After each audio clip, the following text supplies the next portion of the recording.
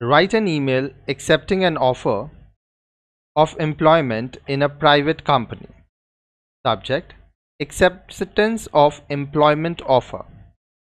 Dear hiring manager's name, I am thrilled to formally accept the job offer that you extended to me for the position of job title in company name.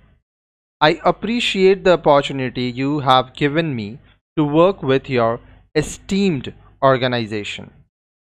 I would like to thank you and the entire recruitment team for making the interview process seamless and enjoyable. The professionalism and enthusiasm exhibited during the interview process were indicative of the culture and values of the company. I am eager to be part of such an amazing team. As we discussed, my starting date will be on date. I will report to supervisor's name and will be located in the department name department. Please let me know if there is any other information or documentation that I need to submit before my start date.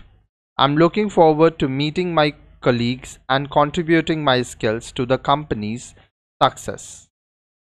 Thank you again for the opportunity to join.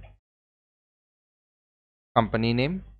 I am excited about this new chapter and ready to work hard to make a valuable contribution to the company. Sincerely, your name.